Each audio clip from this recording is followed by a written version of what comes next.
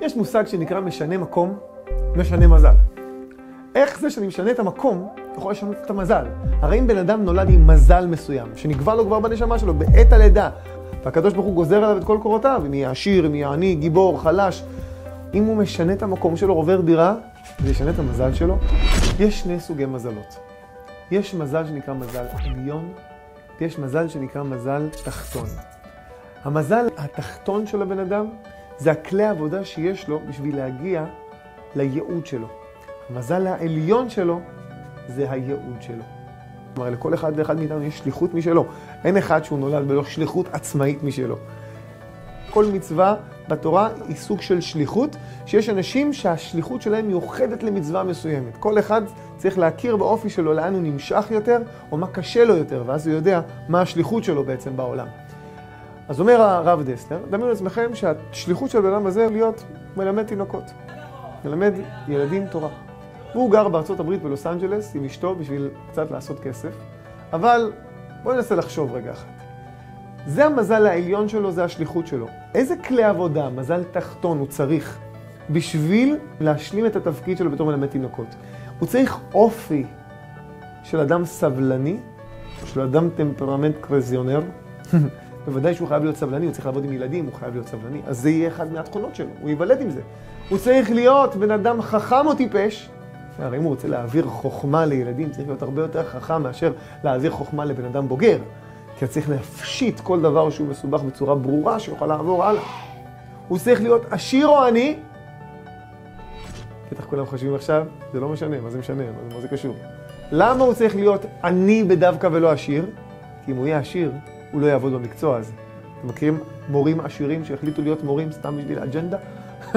אז באמת הוא, יהיה, הוא צריך להיות עני, זה חלק מהכלים שלו בשביל להגיע למחליט שלו בחיים. עכשיו שימו לב טוב, הוא נמצא בלוס אנג'לס, מלמד תינוקות. בשלב מסוים אשתו אומרת לו, שמע, אנחנו גם ככה עניים פה בלוס אנג'לס, אז למה לי להיות פה?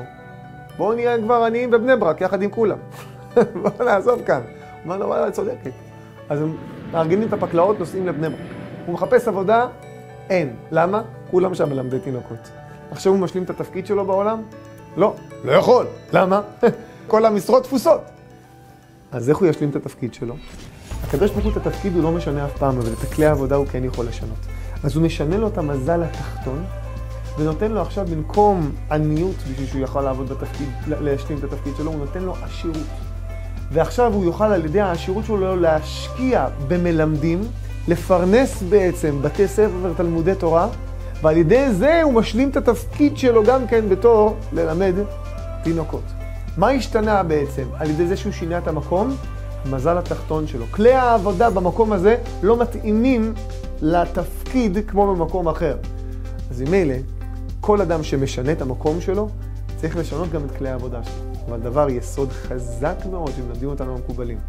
הקדוש ברוך הוא טוב. הוא רוצה לתת לנו אך ורק טוב, גם בעולם הזה וגם לעולם הבא. אז גם עוד לפני שיש לנו את התפקיד, הוא רוצה שאנחנו בדרך להשלמת התפקיד גם יהיה לנו טוב. אז אם אנחנו נעשה חשבון עם עצמנו, מה הקדוש ברוך הוא מצפה ממני על ידי הכלים שהוא נתן לי, נתן לי חוכמה מסוימת, כישרון מסוים. לחשוב איך אני יכול לקדש שם שמיים עם הכלים שהקדוש ברוך הוא נתן לי, באופן אישי. בלי שום קשר למצב מסביב, שאני לא אהיה מוכרח לעשות את זה, אלא אני אעשה את זה מרצון. אם אותו מלמד היה אומר לעצמו, הקדוש ברוך הוא נתן לי כישורים ללמד תינוקות, ואני אוהב את זה גם, ואני טוב בזה.